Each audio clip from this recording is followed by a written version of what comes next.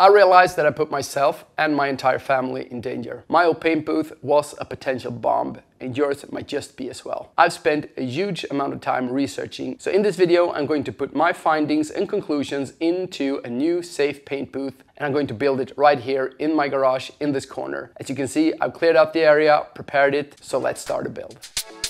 I will focus this video on the parts that are applicable to most garages or small workshops. The functions that will make the booth safe, but also make it a good paint booth that delivers high quality paint jobs. As I primarily will be painting bike frames, I set the size of the booth to 160 by 180 centimeters. That gives me enough space to move around the frame without taking too much space in the workshop.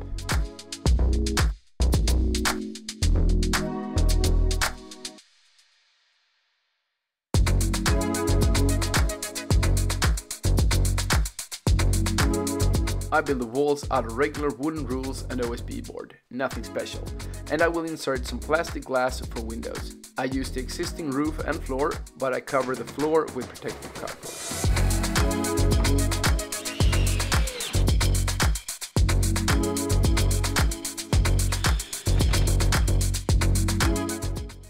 Safety is a crucial part when building a paint booth. Any electrical device can cause a spark and needs to be considered. But what are the risks? To make a long story short, gases and solvents need to be in a certain concentration to be flammable. If the concentration is too low, they won't explode or burn. And the same thing if they are too high. Different solvents and gases have different limits, but it's usually quite a high level needed to reach the lower limit. At that point, the concentration is usually visible in the air and it will affect your eyes and even your skin. However, I have no possibility to measure the concentration and as I will be using aerosol cans that have propellant gases that add to the concentration in the air, I better be safe than sorry. Therefore, I will eliminate as many risk factors as possible in terms of sparks and fire hazards. It won't be 100% safe, but neither is crossing the street.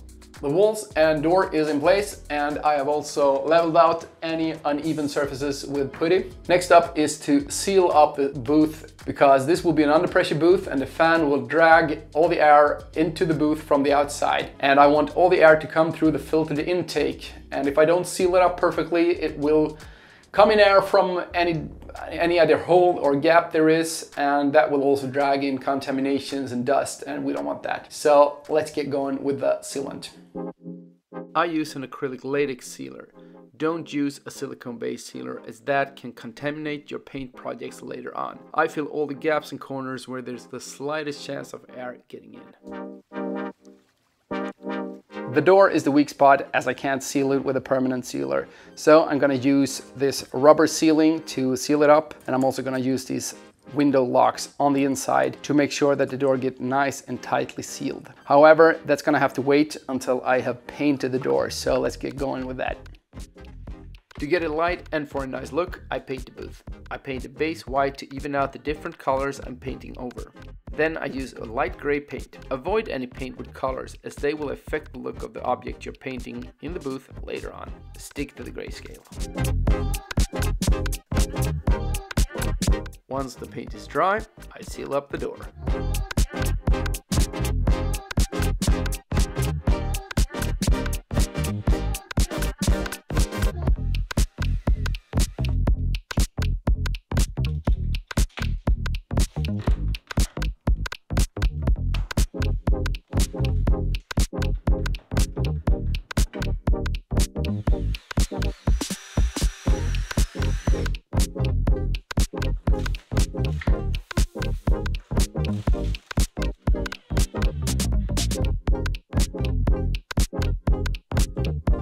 Lights in the paint booth are very important, both to get the right amount of light as well as the light temperature, but they are a source of danger.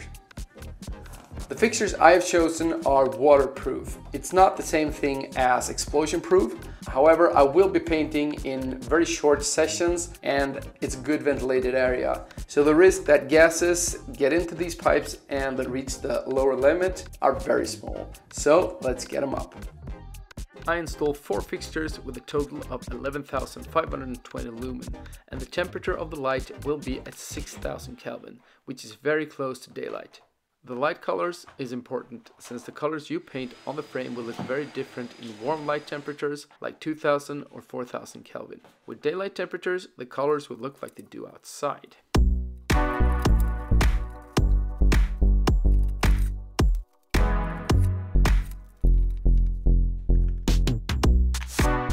It's time for the ventilation and to extract all the air out of the booth and out of the workshop in a good way, I will replace this window with a fan box that I'm about to build. Now that will create an under pressure in the booth and to make sure that I get air into the booth, this will become an intake over here. Now just to get nice and clean air in the booth, I will install an intake filter here. I haven't received it yet, but that's where all the air will enter the booth. The fan I will be using is this one and it has a capacity of 1080 cubic meters per hour. And given that the volume of my booth is about seven cubic meters, it will change the air in the booth two and a half times per minute, which is pretty good. The fan is another risk factor and regular household fans can cause sparks that will ignite fumes and lead to an explosion.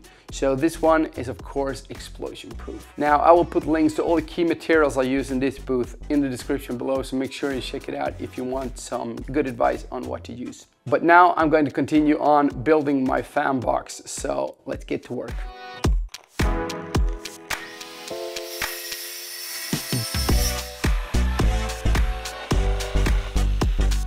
In my case, I replace a window and thereby I have a template for the size of the fan box. So the most important measurement for me is to get the side of the box facing into the booth to the correct size.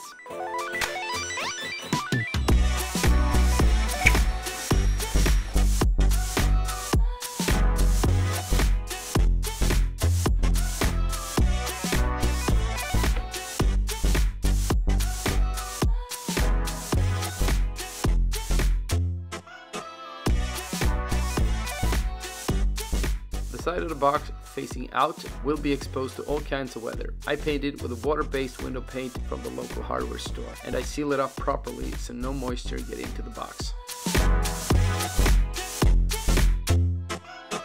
Fan box is done and I have removed the window behind me. I've also sealed up the edges around the window with a window sealer to make it airtight. Now I didn't want to seal it with a permanent sealer as I want to be able to put the window back in place again. I will tighten it with these window locks to get it really nice and tight. So let's just hope it fits. Luckily, my measurements were correct and the box fit nicely. I then tighten it with the window locks and note that it seals great.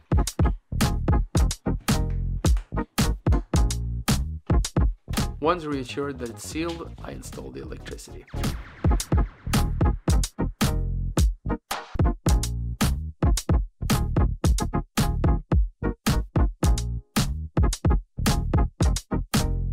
Filters have arrived and I have this uh, intake filter. It's pre-cut, so I'm just gonna fit it right up there. And then we have this paint trap. It's not cut yet, so I'm gonna have to do it myself. And I'm wearing gloves when I'm touching this because the paint trap is made out of glass fiber and it's not very comfy to touch with your bare hands. So yeah, just a heads up. So yeah, let's get going.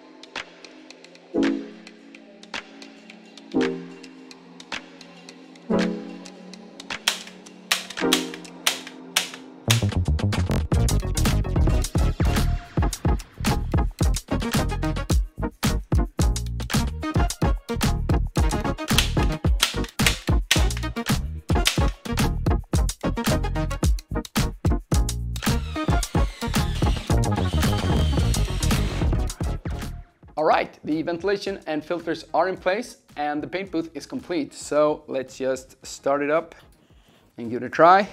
You got this paper towel here just to demonstrate the suction of the fan and as you can see it sucks really good so I think this is going to be great. Now I will probably make improvements over time but in my future projects I can work in peace, confidently assure that my family is safe upstairs and that my paint jobs will be free from contamination and dust. Now, if you're gonna paint a bike frame, you should really check out this video over here. And if this video gave you value, please give it a thumbs up and hit that subscribe button.